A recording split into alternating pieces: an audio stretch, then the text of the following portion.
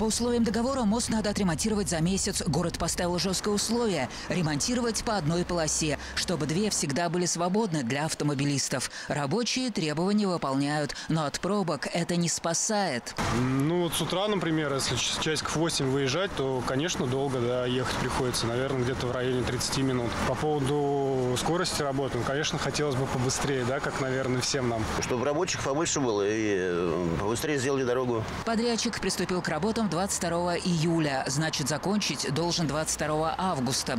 За две недели отремонтировал только одну полосу. Сейчас снял старый асфальт на второй, так что побыстрее вряд ли сделает. Мало того, активисты Народного фронта заметили, что из пяти-шести рабочих иногда работает только один, а бывает создается впечатление, что вообще никто не работает.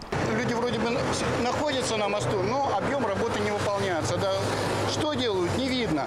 Дело в том, что у людей бывает перекур, бывает какие-то там в течение часа отдых.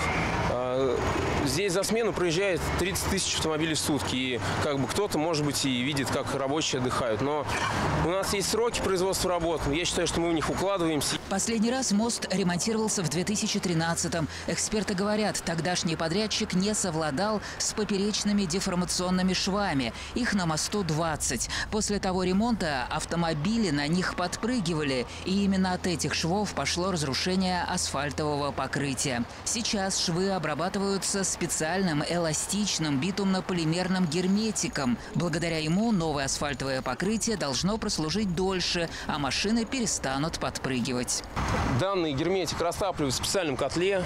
У нас есть специальная машина, которая производит э, растапливание данной мастики при те- температуре 160-170 градусов. Далее туда добавляется разогретый гранитный щебень. Далее там все перемешивается и непосредственно укладывается в шов. Подрядчик признался, это первый в его жизни мост. До этого менять асфальтовое покрытие на арочных объектах ему не приходилось. Но он уверен, что задачей справится. Заказчик работ в лице представителя городской администрации трудовые будни подрядчика пока устраивают. В настоящее время подрядная организация укладывается в установленные контрактом сроки. Контракт с подрядчиком подписан на 7 миллионов рублей. Если перекуры рабочих будут затягиваться и 6 тысяч квадратных метров моста не отремонтируют к 22 августа, подрядчик не только не увидит этой суммы, но и заплатит штраф. Он зависит от объема невыполненных работ на момент окончания контракта и количества дней просрочки.